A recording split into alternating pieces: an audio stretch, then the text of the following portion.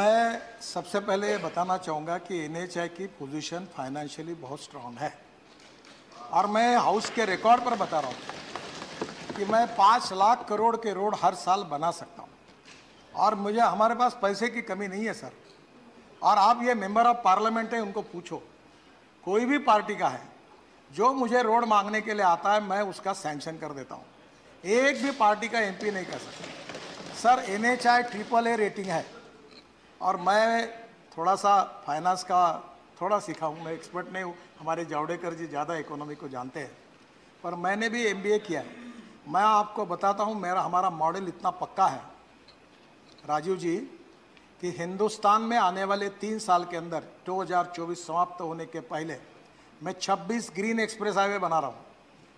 दिल्ली से डेहराडून दो घंटे में, दिल्ली से हरिद्वार दो घंटे में, दिल्ली से जयपुर दो घंटे में दिल्ली से चंडीगढ़ ढाई घंटे में दिल्ली से अमृतसर चार घंटे में दिल्ली से कटरा छः घंटे में दिल्ली से श्रीनगर आठ घंटे में दिल्ली से मुंबई बारह घंटे में और चेन्नई से बेंगलोर दो घंटे में लखनऊ से कानपुर पैंतीस मिनट में। और मेरठ में ऑलरेडी हो गया है। मेरठ से दिल्ली साढ़े चार घंटे लगते थे अब चालीस मिनट में आ रहे हैं। प्लीज़ प्लीज़ मैडम बैठ कर मैं वो भी चल रहा है। वाराणसी से कलकत्ता का। तो सर, मैं आपको इतना बता रहा हूँ 26 ग्रीन हाईवे बना रहे नरेंद्र मोदी जी के नेतृत्व में। 2024 समाप्त होने के पहले हिंदुस्तान का रोड इंफ्रास्ट्रक्चर अमेरिका के बराबर होगा, ये वचन देता हूँ। और कोई पैसे की कमी नहीं।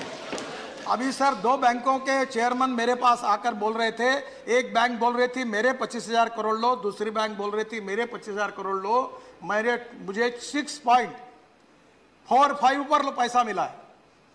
हिंदुस्तान में ट्रिपल ए रेटिंग एनएचआई का है और एनएचआई के लिए कोई फाइनेंशियल तकलीफ़ नहीं है। इस देश में और एनएच डिक्लेयर करके पूरा ग्रीन एक्सप्रेस हाईवे बनाकर हम इस देश की पूरे इंफ्रास्ट्रक्चर को बदलेंगे तो भी पैसे की कमी नहीं है। हाँ काम करने में कोई कमी होती तो उसको और हम पीछे लगकर करवाने की कोशिश करते और आप जितने लोग जो जो पार्लियामेंट्री कॉन्स्टिट्यूशन में रहते हो, आप एक एक कॉन्स्टिट्यूशन में ये आठ साल में कितना बदल हुआ है?